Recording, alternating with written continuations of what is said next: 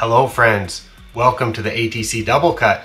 I have Jim Huntoon joining the show today. And we're going to talk about my recent visit to Myrtle Beach and to Horry Georgetown Technical College. Welcome to the show, Jim. Dr. Woods, thank you so much. Glad to be here. You are a, a second time guest on the show. I believe uh, you were on a couple years ago and we talked about frost delays which is a fun topic. And uh, at that time, you were a golf course superintendent, weren't you? Yes, I was at Heritage Club in Pawleys Island, South Carolina.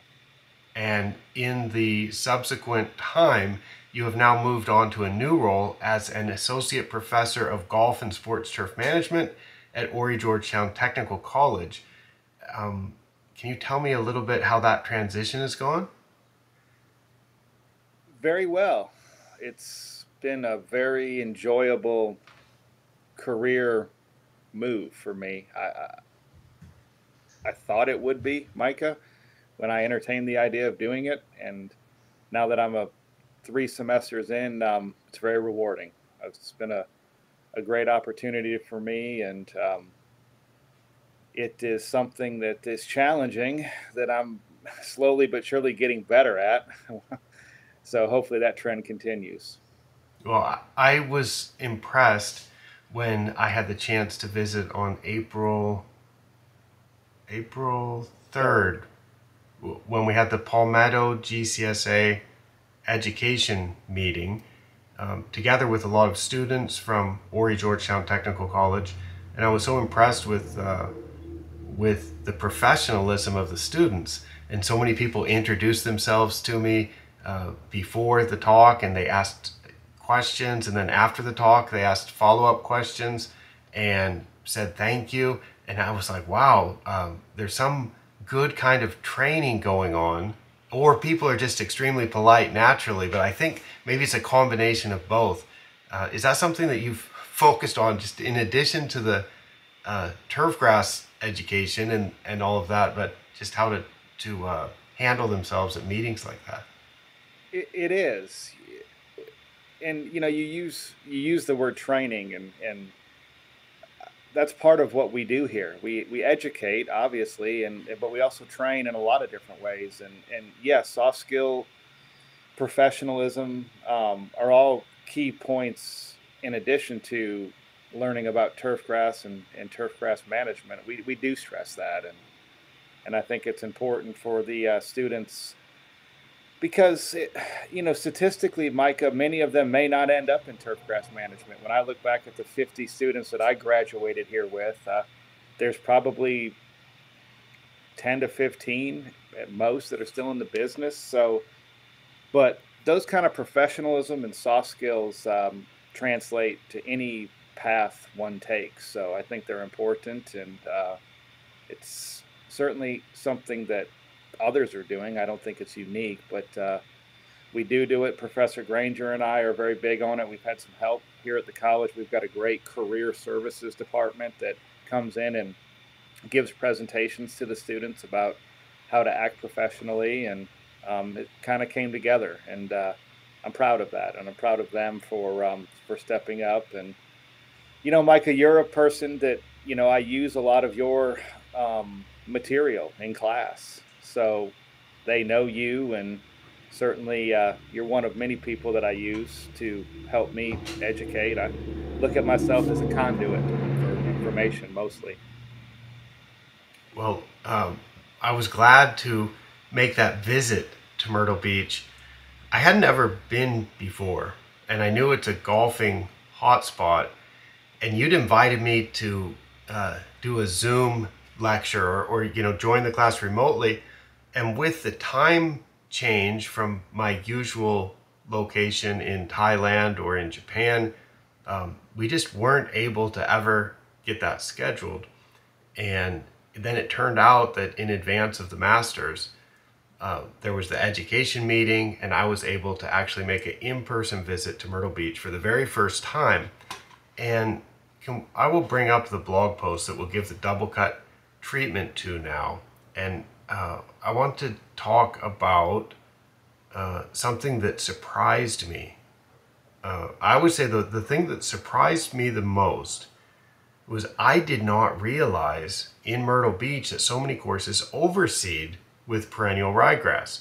I I had thought that in the American Southeast, most places would that have you know they have warm season grass, typically Bermuda grass, tees, fairways, and rough. And I thought that the tees and fairways would have gotten painted. And I, the first course you took me around to visit some courses, and I saw ryegrass, and then the next course ryegrass, and this was in early April. The greens weren't overseeded, but the tees, fairways, and roughs were. Um, can you tell me a little bit about the number of courses, you know, the, the, the size of the golf market there, or maybe it's called the Grand Strand.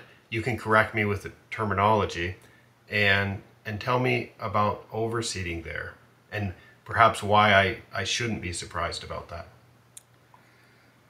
So the Grand Strand area is straddles it's mostly in South Carolina, but there is part of it that straddles the North Carolina line. Um, it's about a 60 mile stretch of of uninterrupted beach um, that we call the Grand Strand. It's a geographical name, but we have about 80 golf courses in that area. Uh, I'm going to say 65 to 70 of them routinely overseed Micah. Um, mostly tees fairways. Um, there are some greens that get overseeded as well with Poa Trivialis on the ultra Ultradwarfs. And then we do have some courses that uh, overseed wall to wall. In fact, that's gained a little bit more popularity in the last two or three years since golf has kind of gone through this growth of, of um, after the, the pandemic. But uh, yeah, we have a few courses with bent grass greens as well here. Um, I guess you would consider this the very southern end of the transition zone. Uh, but uh, with our resort market, um, we've always overseeded here, so that's not really ever changed. Um, a lot of the ownership groups of the different courses um, feel that their clientele wants to come down here and play on overseeded grass. So that's what the market is stuck with. That that is something that I was so glad to learn. Um, I I often think of uh, Augusta National Golf Club as being a bit of an outlier in the southeast in overseeding wall to wall, and and you know when everybody watches the Masters tournament, they're looking at bent grass putting greens, but the rest of the course is a Bermuda grass base with a, a nice perennial ryegrass overseed on it. And then I think of other overseeding hotspots as the Palm Springs area, the Coachella Valley in Southern California, and the Phoenix area. Um, I, I think of those as overseeding areas, and I didn't realize that Myrtle Beach was one too. So I was so curious. And if you remember, I asked you uh, when do people typically put the seed down because that's that's something that's been a curiosity of mine for a while, and and I forget exactly what you answered, but uh, I think if if I remember right, it was something like September into early November or something like that. Can you let me ask you that question again? In Myrtle Beach, on those uh, 65 or 70 courses that do overseed, what's the timing look like on that? What are what are people doing? I'm going to say October 1 to December 1 is the window. And uh, that's changed a little bit over the years. Back 20 years ago, I'd say mid September um, was more common overseeding time than, than the later end of that, when more people had bent grass greens. Um, they would try to coincide aeration events, core aeration events with overseeding. Um, so they would go a little bit earlier. Um, I could tell you some stories about um, courses in this area having to spray fairways and rough with Subdue MAXX for pythium control, Micah. But that's a that's a long story. But uh, no, it's changed. It's October one to like I said, December one. Um, overseeding here is done much differently than those other areas you mentioned. Different than Augusta and other areas in the southeast that overseed for tournament preparation and certainly much different than the desert southwest. So if you want to get into some of those intricacies, we certainly can. Um, but uh, uh, there's a lot to talk about with this, so I'll just open it back up to you. Good. Uh, thank you so much. Uh, if I don't remember to come back and ask you about overseeding without closing the course, um, which which I want to talk about, um, please please bring that up. Uh, I'll make a little note. Overseeding without closing.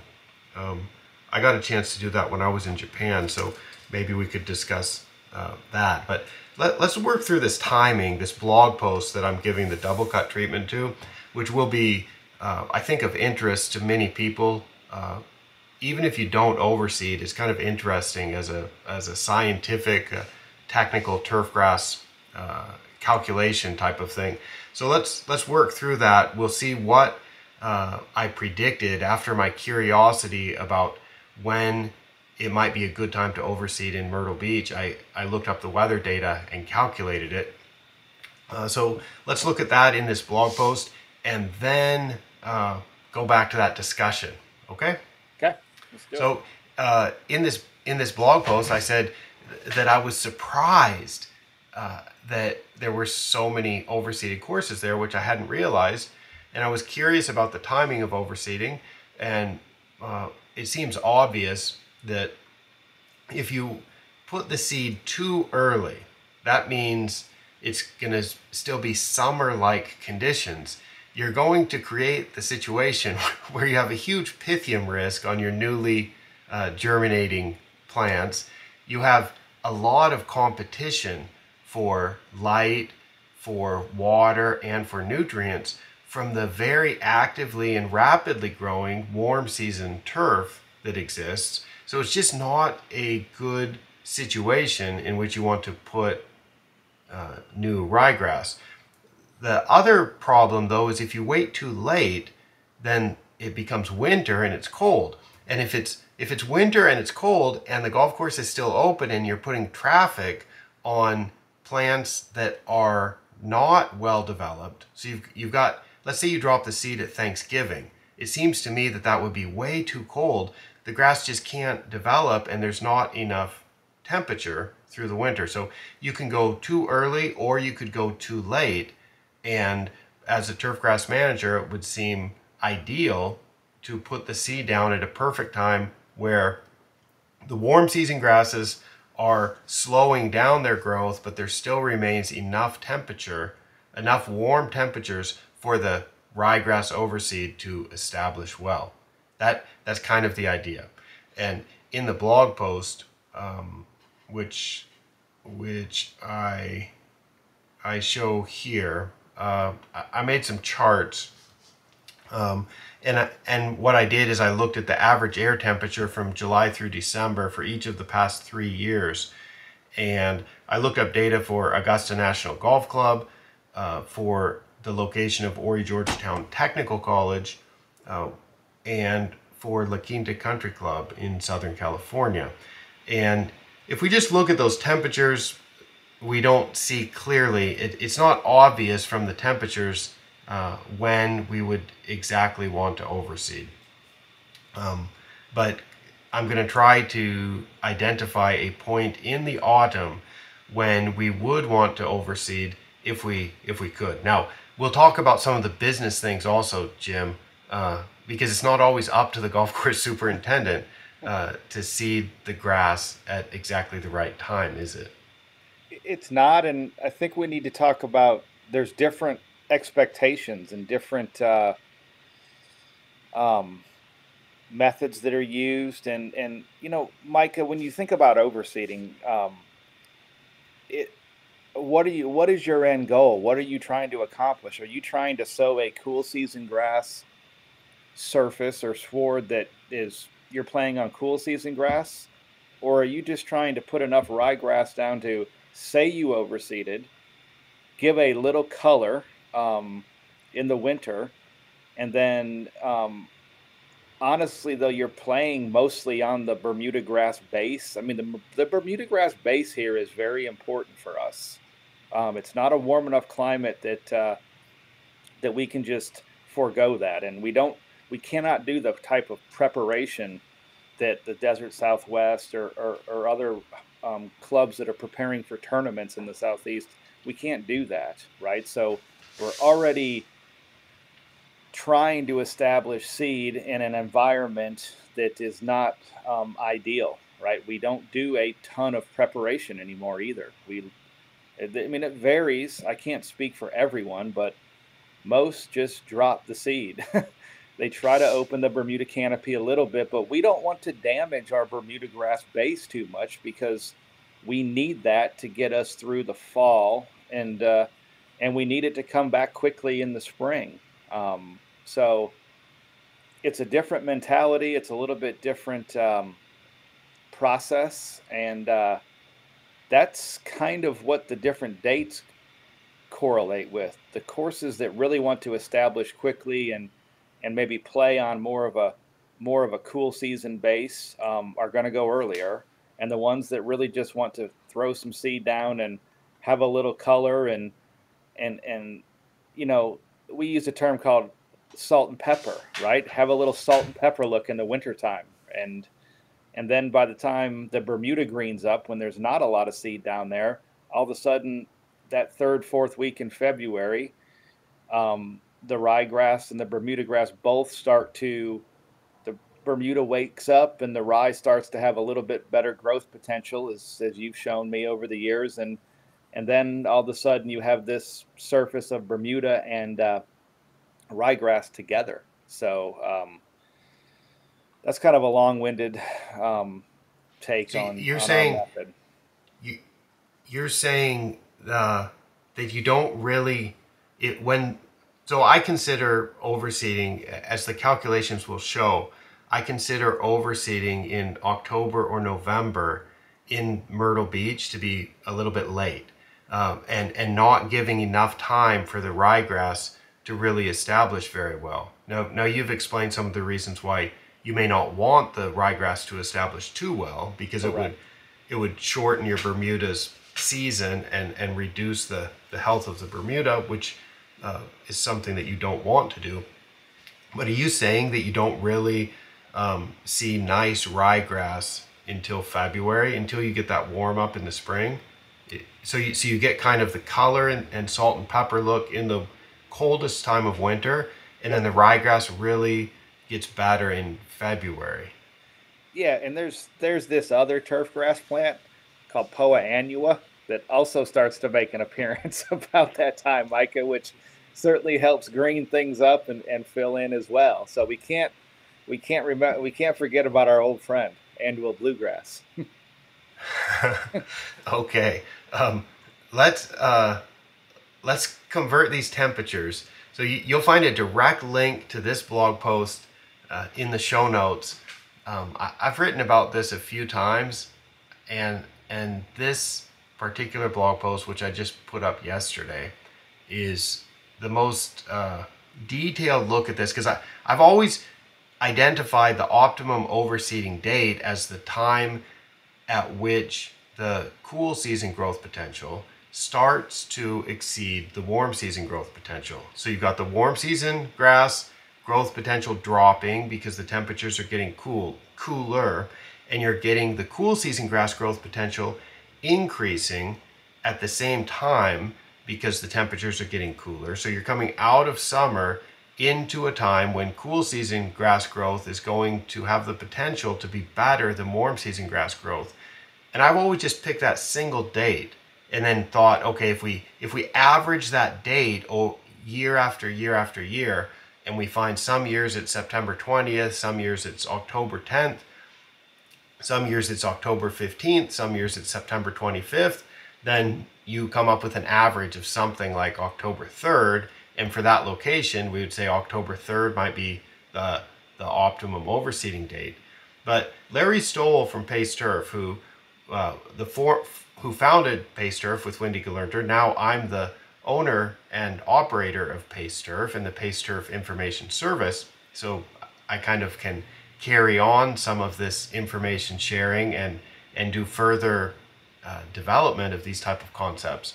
Larry mentioned, and uh, he has mentioned in the past that it's not only that, but you need to make sure that you don't go too late. And of course, he's he's referring primarily to the desert Southwest, mm-hmm.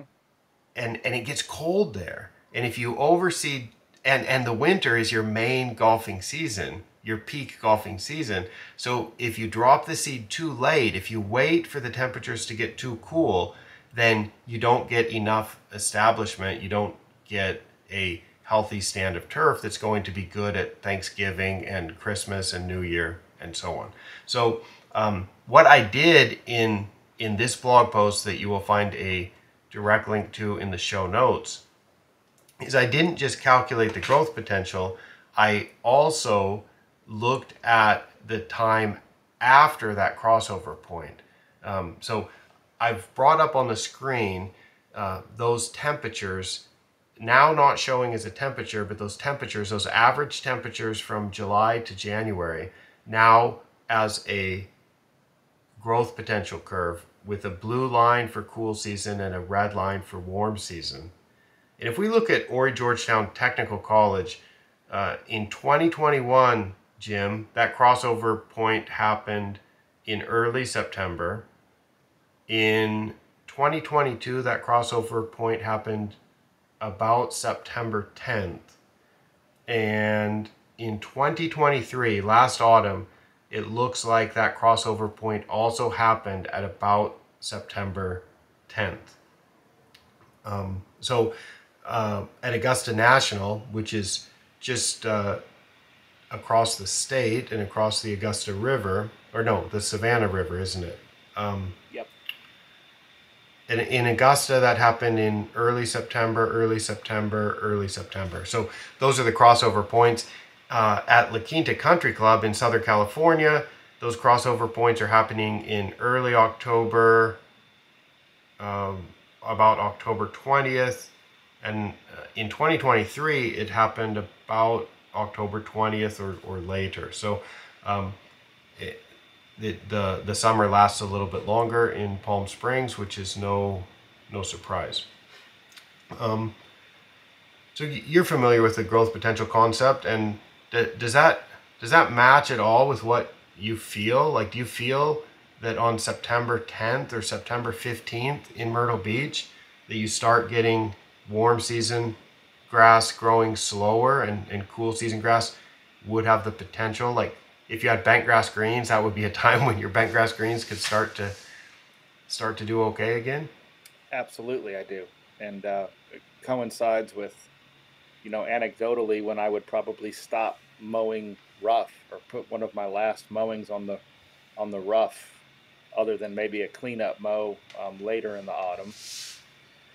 I, I, do, Micah. You know, here in the Myrtle Beach area, uh, mid September is the height of hurricane season and that um, definitely discourages anyone from planning to drop seed at that time. Um, obviously, the later we go in the fall, statistically, the less likely we are to have any tropical entanglements, which uh, can wreak havoc on overseeding, as you can imagine. Yeah, not only do they make a mess, but if they move that seed, uh, that money's gone. And uh, yeah, that's an expensive it's an expensive problem when when a hurricane destroys the overseed. So that's a risk that one would want to avoid for sure. So I mentioned that uh, in the past I've kind of looked at this crossover point, identified that as as the time that would be an optimum to put the seed. But what I did yesterday is I made the calculation that um,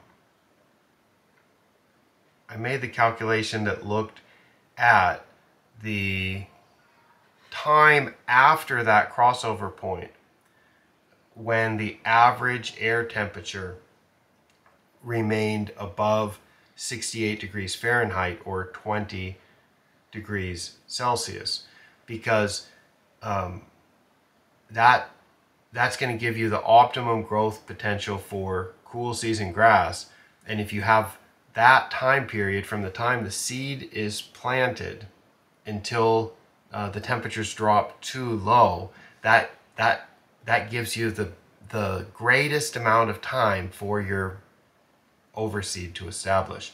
So if we if we look at that for uh, the Horry Georgetown location in 2021, that that time window was September 2nd to October 18th.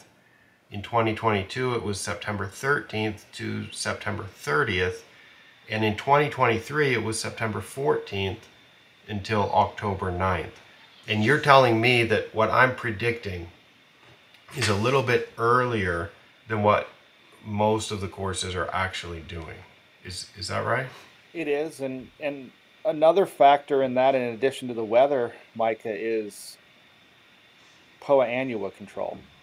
That's the optimal window for its germination, and whether you're using a pre-emergent um, at a time frame before overseeding, whether it's 45 to 60 days, depending on the herbicide, or a post-emergent, um, seven to 10 days before you. Obviously, the later you go with those um, products, post-emergently especially, especially, the more chance you have to have a little bit better percentage control of POA annua. So that's a huge factor in timing as well. And um, you know, we haven't talked about the business part. We can get to that in a minute, but um, certainly applications of POA control are going to push the window back a little bit. Hmm. Yeah, it's, it's interesting as we talk through this, and you're telling me if this is just for color and it's not, and people are really concerned about having healthy Bermuda grass, and they're concerned about POA annua uh, and they're not really trying to play on a ryegrass surface, then I'm like, my uh, paint or pigments seem like a way to provide the color, uh, perhaps save some cost, um, provide more options for POA annua control, and probably have healthier Bermuda grass. So um, Eh, where I think I think in the desert Southwest, uh, at a place like Augusta National that has a pretty major golf tournament in the spring, and and all the member play is on these ryegrass surfaces through the autumn, winter, and spring. Um, the, you know it's easy to make a case for for really focusing on a nice ryegrass overseed. Um, in Myrtle Beach, um, you're you're bringing up a number of things that suggest that yeah, it is a little bit different there, and and and the ryegrass um, isn't so important um, in terms of of being a nice thick playing surface. Yeah, you know, it's kind of like a, whether you overseed very early in the window or very late. Um, by the time you get to March and April, which is going to be the peak season for the spring, um, things really start to level off. Um, where if you, and there certainly are courses, Micah, that can produce a very good ryegrass stand where you're basically playing off ryegrass in the spring. Don't don't, I don't want to misconstrue that. That does happen, but there's also others that um, rely on that Bermuda base to start popping through as well, and uh, and non-overseeding is an option here. Um, from 2016 to 2022 at Heritage Club, I stopped overseeding and uh, felt like that was a better model for the for that particular club. Uh, but when you talk about painting and everything else, you everything you mentioned is true. Um, it does offer a lot of advantage, but you know, painting also has a cost with it as well, and and uh, it it can be difficult to master. Um, it takes a different management plan. It takes a um, a year-round plan to, to pull that off successfully. And I, I look at it more, Micah, as shifting the um, period when you're not going to be at your best, maybe from, you know, when you're overseeding in the October November timeframe when you're establishing, and then the June and July um, timeframe when you're transitioning back when you're overseeding, those are going to be your times when you're not at your best. but when you're painting um, or not overseeding, you're going to be at your worst somewhere between February 15 and April 15. So it's just a decision that you have to make and what you want to do. Um, obviously, both can. Uh, one thing I've noticed, Micah, if you have a good year for overseeding, you usually have a good year for painting or non overseeding. Those two do seem to um, correlate somehow with the weather. Uh, but uh, explain that to me. You you mean good weather just means better grass and and playing conditions in general? Yes, um, exactly. And again, I think that goes back to how important the Bermuda base is with our lack of preparation and our establishment without closing and the six weeks from uh, October 1 to to, April, to uh, November 15 is peak season in the fall, Micah. And October and November here are the best weather months for golf. There is no doubt they are superior to March and April. Um, so we're very busy. So on top of pushing the window back, right, using pre-emergence and post-emergence to try to control Poa annua as best we can, which, as you know, will inhibit some germination of ryegrass, and then having 200 to 250 golfers a day, um, that's a lot of stacked stresses, Micah. It makes it difficult. And uh, one thing I'll say, when I did oversee it, I preferred to go later into November, the first or second week, um, because October is such an important revenue month, and like I said, the weather's so good, and I wanted the conditions of the course to be ideal then for the golfers. And in November, after daylight savings kicks in, the way the um, daylight hours start to work, you automatically go from having the potential to have 200 golfers a day down to 120, which limits that wear and traffic. So that was always a consideration of mine as well. And let's let's talk. Let's transition to talking a little bit about how and when you you accomplish the overseed there, how clubs are doing it without closing, uh, which is an interesting uh, an interesting topic. But I just want to show one more thing from this blog post, and then I'll I'll take this off the screen. Um, some people may be wondering where they can get this type of growth potential information, and uh, I put in here some example charts from the Pace Turf climate appraisal. If you're a Pace Turf subscriber, then at the top of your weather page, you will get these type of charts, uh, not just for the past two years, which is what I show here, uh, but you'll get this for the past five years. So you can look at the growth potential curve for your site wherever you are in the world. Um, and you, you get a lot of other things uh, like uh, estimated evapotranspiration, and various uh, temperatures and disease risk and, and, and so on. But the growth potential one is interesting. There's a couple of growth potential charts there. Um, one just shows the curve through the year of cool season and warm season um, for each year. And there's also one that shows the difference between them, what I call the delta GP, uh, which can be used as an indication of when you're going to have some pretty severe heat stress on your cool season turf, among other things. So um, if you're interested in this, you can get a Pace Turf subscription where you can get this, uh, and the annual fee is $275. I've talked with some people recently who said I need to do a better job of marketing this because they recently subscribed and they were uh, impressed and surprised at just how valuable this is. And they're like, Mikey, you need to do a better job of getting the word out. So I know Jim, you you've been a, a Pace Turf subscriber for a couple of years, and uh, I appreciate that. And uh, yeah, you, you may have looked at those climate appraisals for your site at some time in the past. I have, and fortunate now that um, I have access to two different sites, and I can compare the difference between here in Conway, South Carolina, to my home and former golf course home at Heritage Club in Pawleys Island, which is about a, a 30 mile difference. Um, Pawleys Island, where I was, is much closer to the ocean, about a mile and a half away from the ocean, where I'm about 10 miles away here. And that really changes the, the climate um, enough that there are little differences.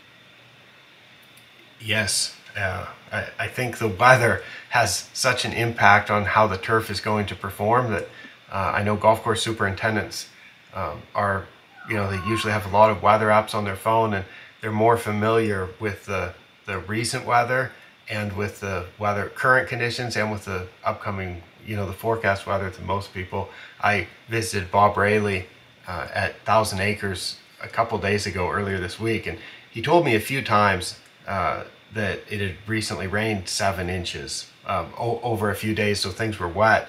And I came back to my mom's house and I was mowing the lawn, and I was able to inform her that she's recently experienced seven inches of, of rain, uh, because that's the way turfgrass managers have to be. Uh, so that's cool.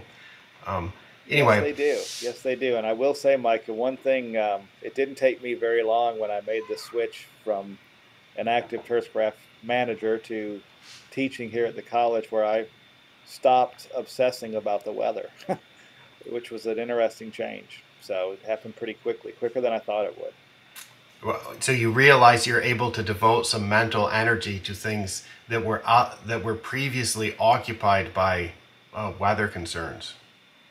Yes, um, I was um, very in tune with the weather as a superintendent, just because I think all turfgrass managers to reach their potential or be the best they can be have to be. It's certainly obviously uncontrollable and um, is something that you need to pay attention to very carefully so that you can be as calculated as possible with your decisions on a daily basis. Let's talk about overseeding when the course is open. yeah. So, uh, how much how much time does so you can drop seed? Let's just say we're doing tees and fairways only. Yep. Um, does it take three days to get that seed down, and you do the the second nine when when golfers are teeing off on the first nine, and then the next day you tee off on ten and you do the first nine? How how do you physically get the seed down when the course is open? Well, in a normal market, yeah, that's how you would do it. But um, we have another idiosyncrasy here. You know, every golf course in Myrtle Beach double tees every day, unless they're unless the routing doesn't allow it. We do have a few, um, you know, golf courses that the ninth does not return to the clubhouse, right? But every golf course in Myrtle Beach double. You call tees. that you call it double tees. I call that a two tee start. Yep. Um, maybe that's Japanese terminology. Um, in in Japan, uh, there there are a lot of multi uh, course facilities with 27, 36, 54 holes, uh, and they you know it just gives you more uh, tees that you can tee off at the same time. So it's it's really unheard of. I, that that's similar to the Japanese market where you send out as many golfers as you can. Uh, It- yeah, it's it's so that's um, yeah that that method has always been used here. You know, you're going to have your morning wave and then your afternoon wave, but uh, so uh, it is done nine and nine a lot of times. It's it varies. You know, some clubs do it in the dark um, or very early in the morning. You know, two three a.m. starts, or um, some will do it in the afternoon. Uh, weather conditions are going to impact that as well, and so is the equipment that you're going to use. A lot will use Vicon or Lely type spreaders on the back of tractors. Uh, there's also a good bit of us, including myself, and that would like to use the seed blower, which is the machine that would blow the seed in. That's a little bit easier to use in in difficult weather conditions because wind doesn't impact it quite as much. Uh, and uh, but yeah, it's getting out ahead or behind play and and and and slinging the seed, and then sometimes coming back and doing tie-ins later. A lot of us will do tees first, Micah, maybe the week before, get those up and going. Um, I would say in general, those are going to be done earlier than fairways, but fairways, it's just going to be a, a, a battle, um, and you're just going to have to figure out how to do it. And I will say the superintendents around here both past and present, are very adept at, at doing it and um, have means and ways that are effective and and um, somewhat uh, maybe obtuse to people when they think about it, but they get it done. And uh, we're used to dealing with a lot of play here. A lot of the golf courses here are going to be in the forty to sixty thousand round range, and um, especially uh, during the peak season, we're going to be very busy and um, we just have to develop techniques to, to work around that. And you said that October and November are the best weather for golf. And and what's the, and you're basically seeding a lot of places would be seeding in late October and in November.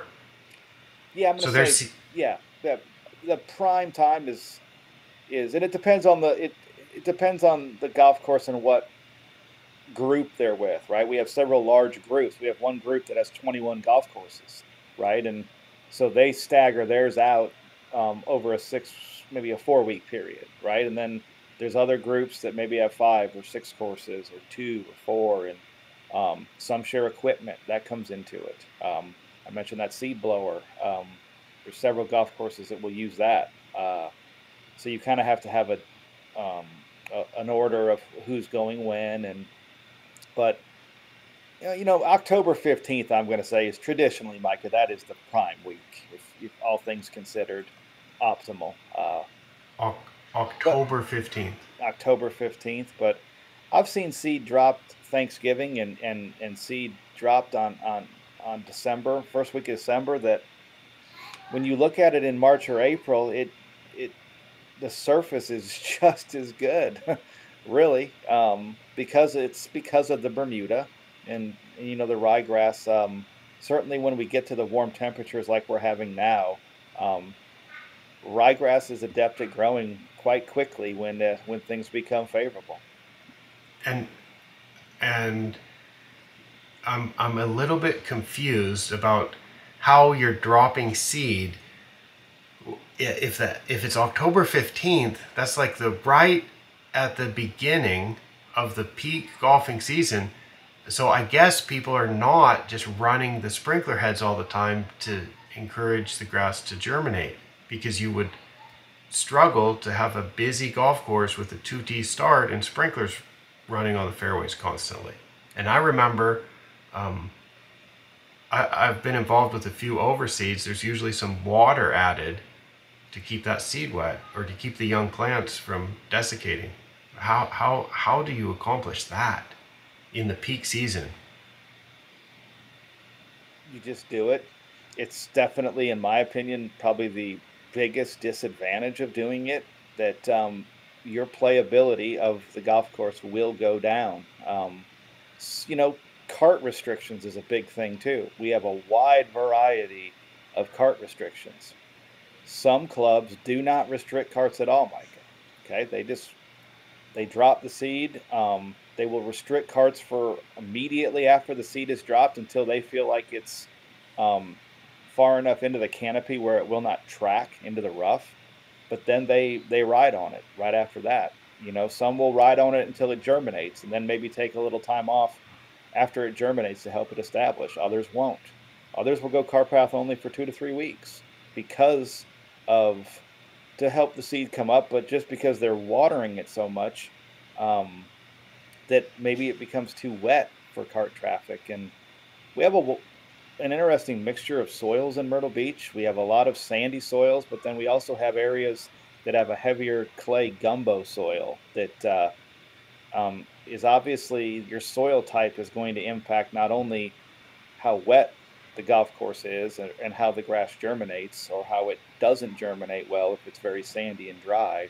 So it's there's a lot of factors that that go into uh, the planning and and the establishment phase.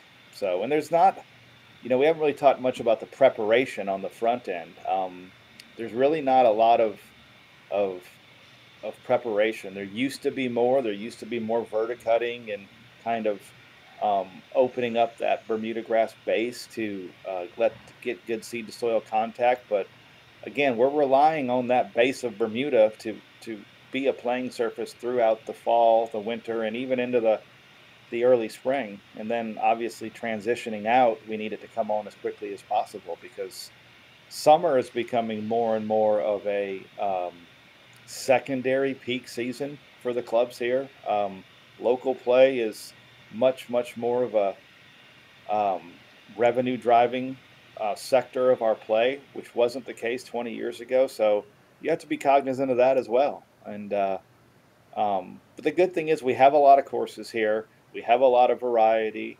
There's a lot of people that do things differently, so it kind of helps the end user golfer know that um, they can find good conditions here in Myrtle Beach year round if they just do their homework, Micah.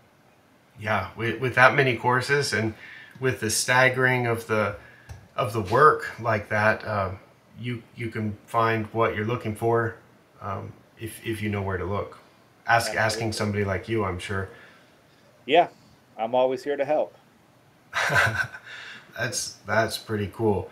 Yeah, it, it's it, it's interesting. Uh, it's interesting for me to make that calculation and then find out that you're actually seeding a bit later when the temperatures are cooler. But then, as you mentioned at the start, uh, we need to consider what the purpose of the overseeding is, and if it's if it's not to have a really nice ryegrass stand by Thanksgiving, which which that would be the case in the in the desert Southwest, a lot of people would come down and play golf or or move to their winter homes in by Thanksgiving and be there in December. Um, so so you want to have a really nice ryegrass surface, where in your case you just want some plants there to give some color, give a little bit of traffic resistance or traffic tolerance, enhancement to the Bermuda grass. Maybe support the ball a little bit better than a beaten down traffic dormant, completely dormant Bermuda grass. And then to to be nice and really pretty in the spring when it warms up again. So that's a little bit uh, different focus. So then you can get away with seeding with what I would consider to be a little bit late. But you have described to me that that it is a bit of a salt and pepper look in the winter potentially, and and it, and you don't really get that solid ryegrass until February and March when it starts to warm up again. Which is exactly why I'm making the prediction to say September 16th might be a better time.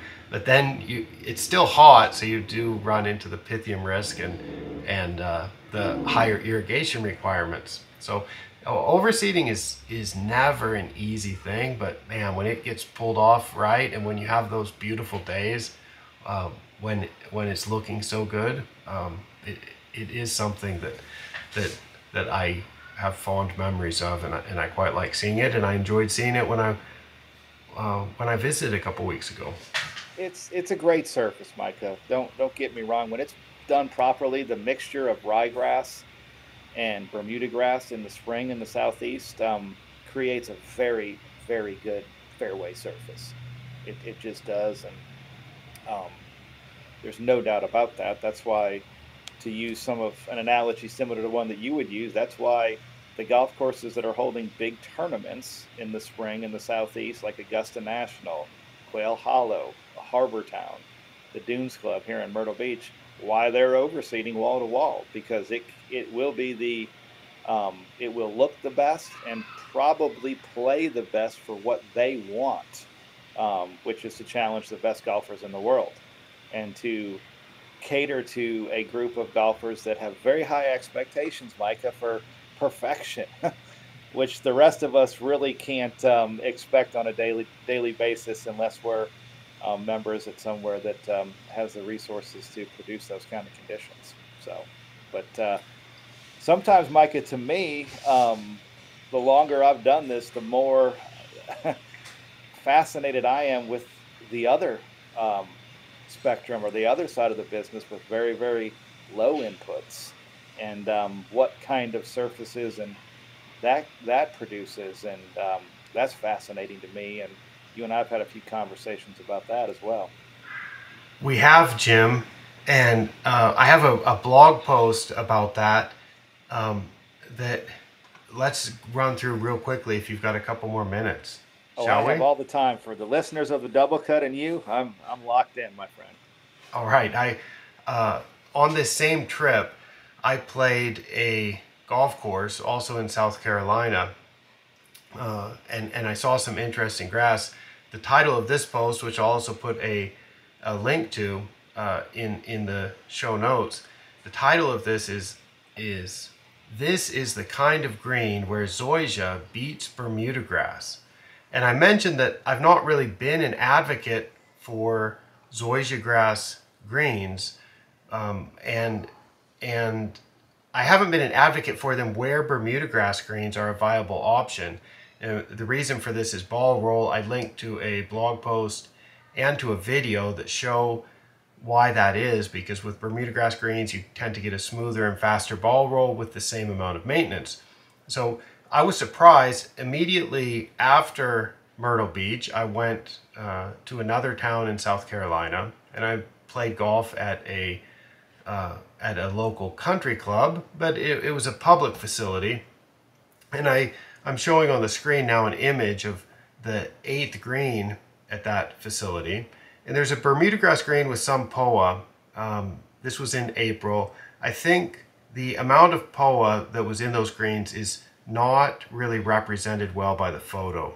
Uh, Jim, the photo that you sent me after after I shared this experience with you, um, where there was a, you took a photo that showed batter POA on greens at another facility that you visited.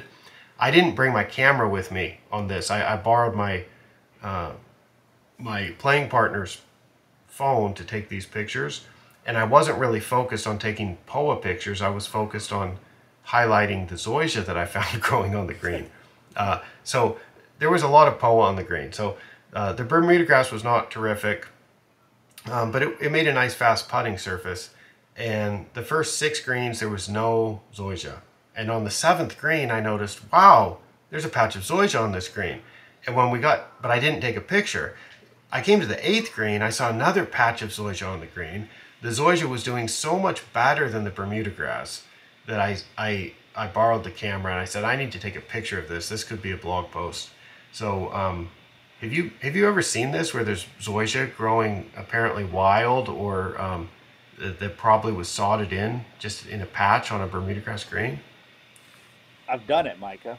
You've done it. I've done wow. it. Wow. At Heritage Club, I did it. Um, number four is a green that I think I pointed out to you when we were driving around in the in the van at Heritage um, that had a lot of oak trees around it. Right before we went down, uh, I think. Uh, I showed it to you, but anyway, it was surrounded by live oak trees, and there was an area in the back that would always struggle. And one year, I just decided to slap down some diamond zoysia back there, um, and it worked quite well for many, many years. And uh, you know, I have we have another facility here in Myrtle Beach called Tupelo Bay Golf Center. It's a driving range. They have a, an 18-hole executive course, a non a nine-hole par three where they have disc golf, par three, uh, foot golf, mini golf um, but they have an 18 hole executive course, and uh, one of uh, our students works there, and I get to visit him. And the last three greens on that course are Diamond Zoysia as well, Micah. And they are by far the best three greens on the golf course because of shade and, and other reasons. The TifDwarf Bermuda that was planted originally back in 2000 or 2001 really struggles. But the, uh, the Diamond is not uh, it's not perfect, but overall, it's a better putting surface in in, in that uh, in that situation. And yeah, I mean, I think it's just like I'm trying to think of how to phrase it because I, I definitely think that Bermuda grass is a better putting surface, but some places just aren't able to maintain a good Bermuda grass green. Now, whether that's because of soil conditions, because of shade conditions, because of the way that the grass is managed or not having enough resources to be able to produce a good Bermuda grass surface. Um, those, those kind of courses sometimes can have a much better putting surface if they have zoysia. But um, for the highest level greens, I think you you tend to get better surfaces with Bermuda grass rather than zoysia. So you can have really nice zoysia uh, as a as a for ball roll for for uh, playability, but to make the zoysia grass match Bermuda grass, you have to do extra work.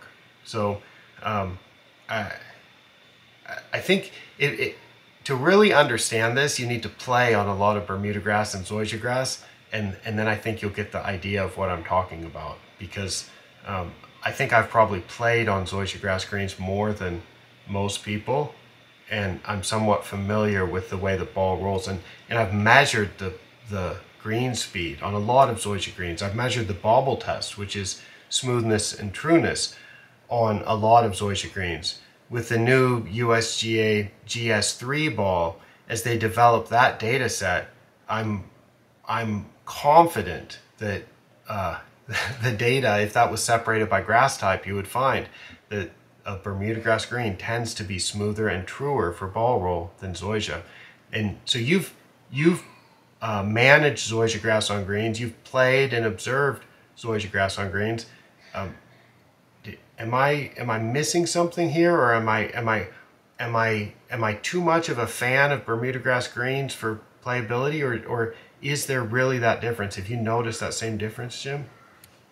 I mean, obviously, like like you said, Mike, and you, you are the you know one of the experts on zoysia grass greens. Let's not, you are, and uh, yeah, but you know, and I only manage a section of a green with it. Now, I did have I do have some other experience with diamond zoysia grass from my time at Caledonia Golf and Fish Club when I was assistant superintendent there. We had a practice area where I where we established three diamond zoysia greens uh, from sprigs which was an interesting experience to grow those in. Um, and I did manage those, and um, yeah, it's you're never going to get the same kind of speed and smoothness, but from what I saw at that Tupelo Bay, it was easier to produce a, a surface, a, a smoother surface there with zoysia than it was with with Bermuda. And one thing that stands out to me when I visit places like that and other places that are lower end budget wise, it's just there's a lot of people out there and they're enjoying themselves and and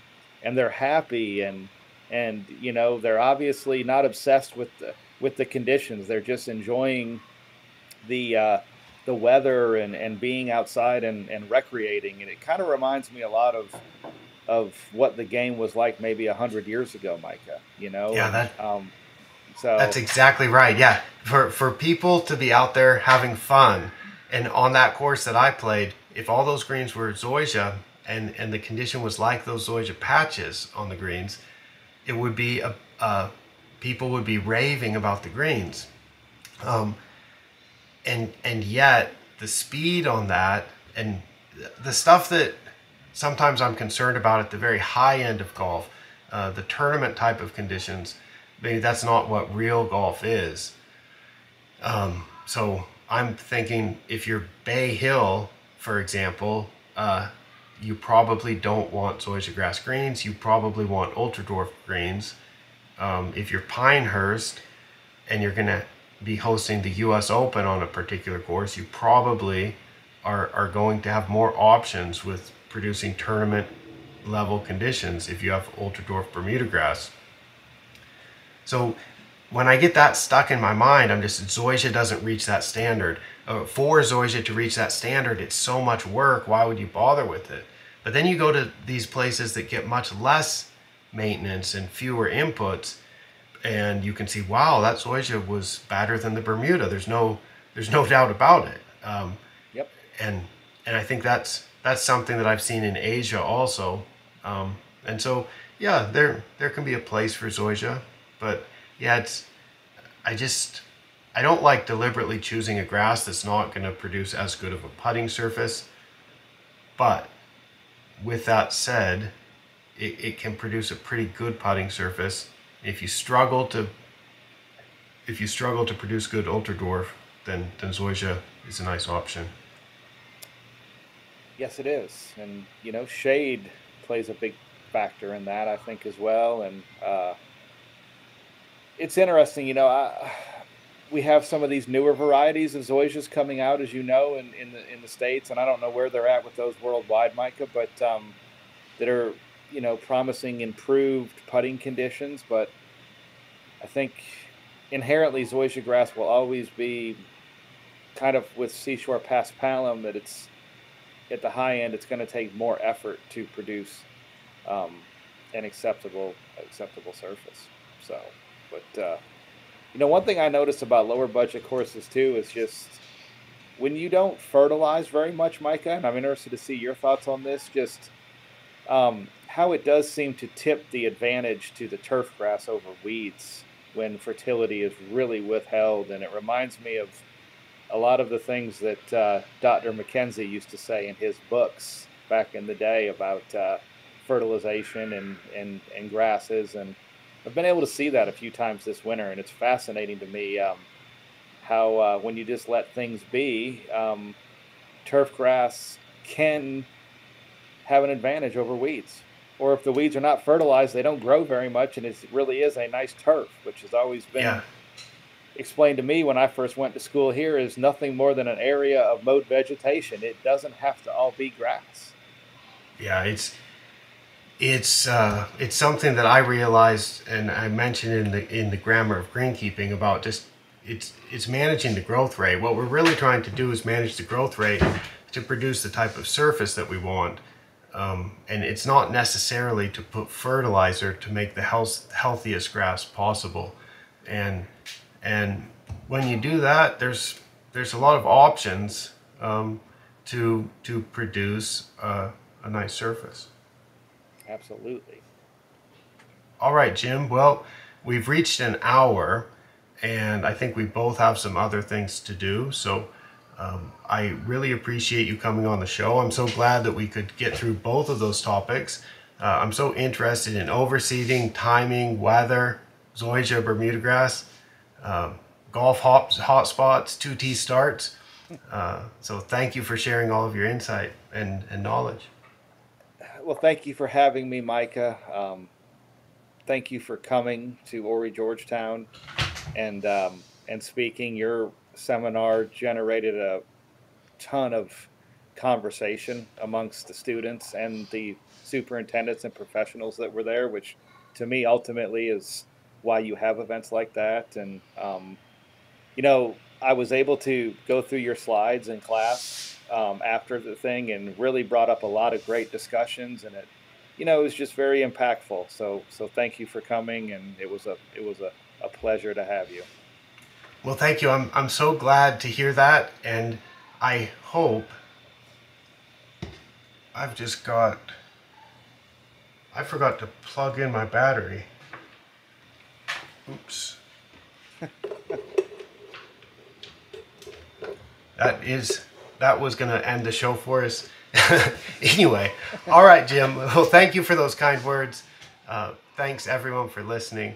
Um, we got that battery back now, and I'll sign off now for ATC from Oakland County, Maryland. I'm Micah Woods. Bye bye.